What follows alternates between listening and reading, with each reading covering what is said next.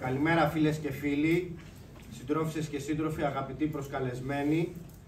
Θα θέλαμε καταρχήν να ευχηθούμε σε όλες και σε όλους καλή χρονιά με υγεία και δύναμη.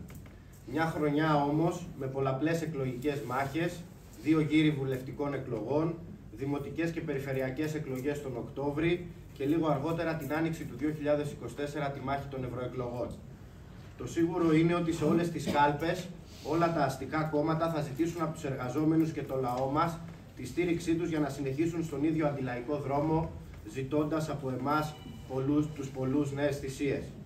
Μάλιστα, για να ξεγελάσουν το λαό, διαμορφώνουν κάθε φορά μια ψεύτικη αντιπαράθεση που καμία σχέση δεν έχει με τα πραγματικά διλήμματα των εκλογικών αυτών μαχών. Μια ψεύτικη αντιπαράθεση για να κρύψουν την κοινή τους αντιλαϊκή πολιτική, το κοινό τους αντιλαϊκό πρόγραμμα, τη σύμπλευσή τους σε κρίσιμα για το λαό μας ζητήματα. Αυτό άλλωστε φίλοι και σύντροφοι ζούμε αυτές τις μέρες και, αμήν, και ας μην έχει ανακοινωθεί ακόμα η μέρα των εκλογών. Ενώ δηλαδή τέσσερα χρόνια τώρα ΣΥΡΙΖΑ και ΠΑΣΟΚ συνέπραταν με τη Νέα Δημοκρατία, ψήφιζαν δεκάδες αντιλαϊκούς νόμους όλοι μαζί, ξαφνικά φόρεσαν τη στολή του μονομάχου και ανέβηκαν στο ρίγκ. Από τη μια η Νέα Δημοκρατία εκβιάζει και μιλάει για αυτοδυναμία ή εκτροπή, απ' την άλλη ο ΣΥΡΙΖΑ εκβιάζει το λαό μας με την ξαναζεσταμένη σούπα των προοδευτικών κυβερνήσεων, λέγοντας πως το δίλημα των εκλογών είναι δημοκρατία και δικαιοσύνη ή νέα δημοκρατία. Την ίδια στιγμή μάλιστα ο ΣΥΡΙΖΑ εξήγηλε την αποχή του από ψηφοφορία στη Βουλή, παραμονές των εκλογών, ενώ όλη την προηγούμενη τετραετία ψήφισε τα μισά νομοσχέδια της κυβέρνησης Μητσοτάκη. Όμως ο λαός της Αχαΐας έχει πλούσια πείρα και έχει κάψει τη γούνα του από επίδοξους σωτήρες και προστάτες, από δημοκρατικές, προοδευτικές και αντιμνημονιακές κυβερνήσεις. Μια επιλογή λοιπόν έχει σήμερα ο λαός μας. Να, να απορρίψει όλους αυτούς τους εκβιασμούς, να κάψει τα αντιλαϊκά κυβερνητικά σενάρια και να δυναμώσει αποφασιστικά το ΚΚΕ. Γιατί σωτήρες και πολιτικοί μεσίες, όπως έχει αποδειχτεί, ούτε υπήρξαν ούτε μπορούν να υπάρξουν. Υπάρχει μόνο ο λαός που μπορεί να σώσει το λαό στο δρόμο της σύγκρουσης με το άδικο και τη βαρβαρότητα. Και αυτό το σύνθημα, σύντροφοι και φίλοι, που ξεπίδησε μέσα από τις μεγάλες μάχες που έδωσε ο λαός μας στο προηγούμενο διάστημα, με το ΚΚΕ μπροστά, που ενέπνευσε αγώνες και έδωσε ελπίδα και αισιοδοξία, σήμερα μπορεί να εμπνεύσει τον καθένα ναι, και την κάθε μία για να μην κάνει άλλο κόντο στις, στις προσδοκίες του, να μην χαμηλώνει τον πύχη των απαιτήσεών του και να βάλει σε προτεραιότητα τη δική του ζωή, τις δικές του ανάγκες. Παίρνοντας ο καθένας τη θέση του δίπλα στο ΚΚΕ, στους αγώνες, στο κίνημα, σε όλες τις μάχες που έχουμε μπροστά μας και στις εκλογές.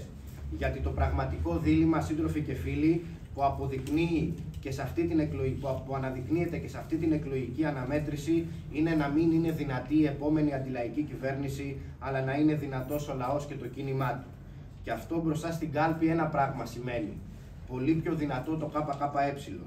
Ας μην δυσανασκετούν λοιπόν ορισμένοι όταν τους λέμε πως η επόμενη κυβέρνηση είτε της Νέας Δημοκρατίας είτε του ΣΥΡΙΖΑ με μπαλαντέρ πάντα το πρόθυμο Πασόκ θα είναι από χέρι αντιλαϊκή γιατί το ίδιο αντιλαϊκή είναι κάθε κυβέρνηση που κινείται σήμερα στις ράγες αυτού του βάρβαρου καπιταλιστικού συστήματος.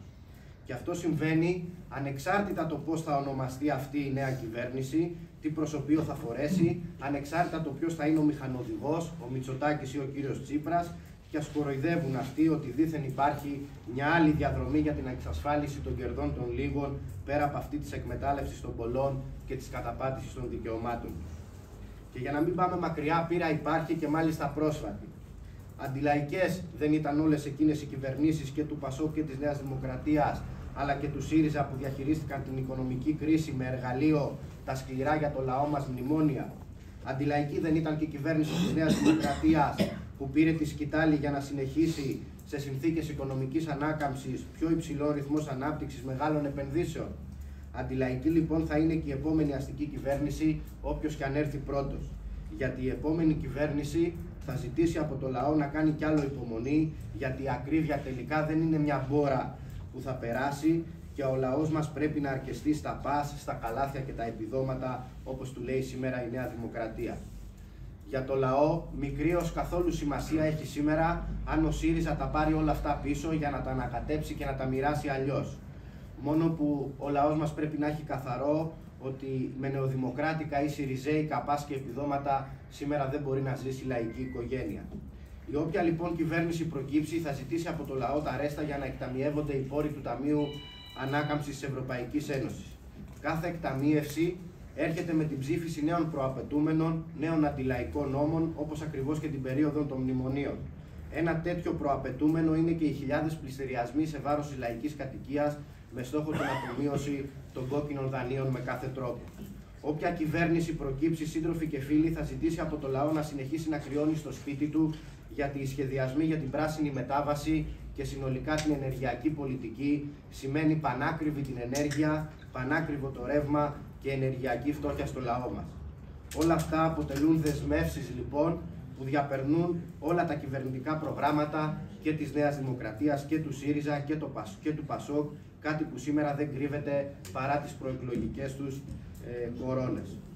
Γι' αυτό ακριβώς επειδή έχουν αυτές τις δεσμεύσεις, απέρριψαν την πρόταση νόμου του ΚΚΕ για απαγόρευση πληστηριασμών πρώτης κατοικίας, κούρεμα χρεών λαϊκών νοικοκυριών. Απέρριψαν δηλαδή όλα εκείνα που πλήττουν την κερδοφορία των τραπεζών και των άλλων ομίλων. Γι' αυτό άλλωστε όλοι τους απορρίπτουν συνολικά τις τροπολογίες του ΚΚΕ, όπως αυτή για την κατάργηση των φόρων στην ενέργεια, που έστω και λίγο θα ανακούφιζαν το λαό μας.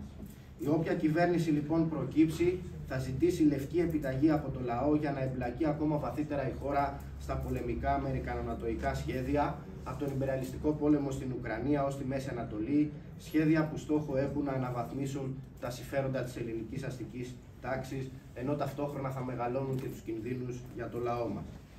Τώρα λοιπόν είναι ώρα οι εργαζόμενοι και ο λαός μας να πούν φτάνει ως εδώ, να μην χαθεί άλλος πολύτιμος χρόνος. Και αυτό το φτάνει ως εδώ που ακούμε καθημερινά από χιλιάδες στόματα σήμερα μεταφράζεται μόνο με συμπόρευση με το ΚΚΕ σε όλες τις μάχες που έχουμε μπροστά μας και στις εκλογές γράφεται μόνο με κουκουέ δυνατό. Η ψήφος λοιπόν στο ΚΚΕ είναι η κερδισμένη ψήφος για το λαό που εκφράζει συνέπεια λόγων και έργων που δεν θα τον απογοητεύσει, που θα τη βρει δίπλα του σε κάθε αγώνα, που ασκεί πίεση για ανάσες ανακούφισης που φωτίζει και ανοίγει δρόμο για την πραγματική διέξοδο. Φυσικά, σύντροφοι και φίλοι, θα μπορούσαμε να μιλάμε ώρες για όλα αυτά, πλην όμως εδώ είμαστε για να παρουσιάσουμε τους υποψήφιους με το ΚΚΕ στις βουλευτικές εκλογές. Το ψηφοδέλτιο του ΚΚΕ στο νομό Αχαΐας απαρτίζεται από σεμνούς αγωνιστές, συντρόφους και άλλους συναγωνιστές, αλλά και ανθρώπους που συμπορεύονται με το ΚΚΕ σε αυτή την εκλογική μάχη.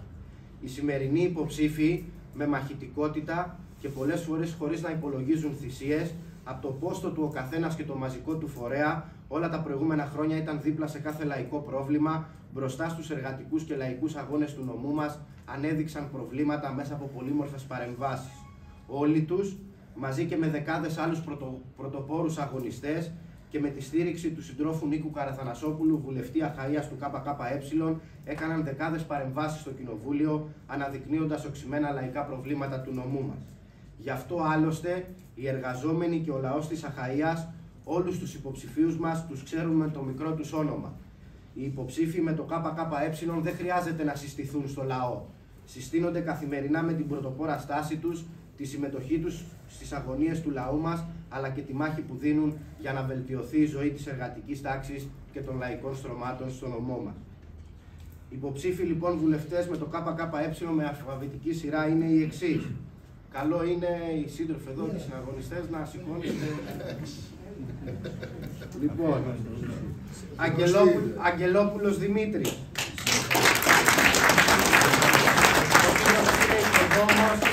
πρόεδρος του Συνδικάτου Οικοδόμων Πάτρας και Γενικός Γραμματέας του Εργατικού Κέντρου Πάτρας, μέλος του Γραφείου Περιοχής Επιτροπής Περιοχής Δυτικής Ελλάδας του ΚΚΕ. Η συντρόφισσα η Αθανασούλα Ιφηγένεια. Απόφυτος του Τμήματος Ηλεκτρολόγων Μηχανικών του Πανεπιστημίου Πατρών και μεταπτυχιακή φοιτήτρια, μέλος του Γραφείου του Κεντρικού Συμβουλίου της Κομμουνιστικής Νεολαίας Ελλάδας. Γαλιφοπούλου Γογό. Συνταξιούχος του ΙΚΑ, απασχολούμενη στον τομέα των κατασκευών και επικεφαλής του Λαϊκού Φροντιστηρίου Αλληλεγγύης του Δήμου Πατρέων. Η Γκέστα Ειρήνη, Ρένα. Συμβολεογράφος απόφοιτης της νομικής του Αριστοτελείου Πανεπιστημίου Θεσσαλονίκης, είναι σήμερα Δημοτική Σύμβουλος στο Δήμο Πατρέων με τη Λαϊκή Συσπήρωση. Ο σύντροφος ο Δραγώτης ο Κώστας.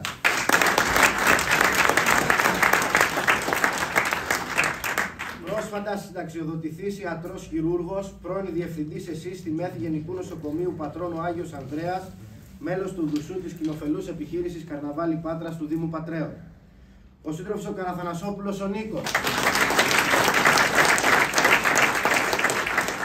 Οικονομολόγος, κοινοβουλευτικός εκπρόσωπος, βουλευτής Αχαΐας και μέλος της Κεντρικής Επιτροπής του ΚΚΕ. Ο σύντροφος ο Μαρμούτας ο Δημήτρης.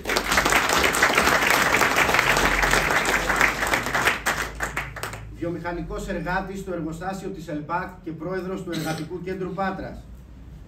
Ο σύντροφος ο Ποδιώτης ο Γιάννης. Είναι αγρότης και πρόεδρος του Αγροτικού Συλλόγου Αιγείου Μπακόπουλος Ντρίνιας. Η συντρόφισσα εξιδία η Αγγελική. Δικηγόρος, απόφοιτη της νομικής σχολής Δημοκρίτιου Πανεπιστημίου Θράκης, ασκεί τη δικηγορία διάλειτο από το 1989. Παναγωγιανοπούλου Χριστίνα. Απόφοιτη του τμήματος πληροφορικής του Πανεπιστημίου Αιγαίου με μεταπτυχιακές σπουδές. Ιδιωτική υπάλληλος, πρόεδρος του Σωματείου Εργατοϊπαλλήλων σε εμπορικές επιχειρήσεις και επιχειρήσεις παροχής υπηρεσιών, μέλος της διοίκησης του Εργατικού Κέντρου Πάτρας. Ο συναγωνιστής και σύντροφος Πατούχας Χρήστος.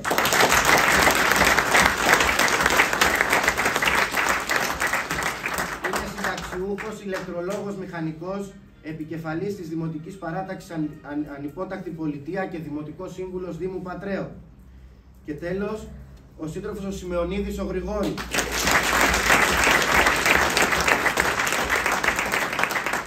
Αντισμήν αρχοσυπτάμενος της πολεμικής αεροπορίας εν αποστρατεία, απόφυτος της σχολής Ικάρων. Είναι πρόεδρος της Ένωσης Αποστράτων Δυτικής Ελλάδας και Περιφερειακός Σύμβουλος με τη Λαϊκή Συσπήρωση στην Περιφέρεια Δυτικής Ελλάδας. Αυτοί είναι οι υποψήφοι μας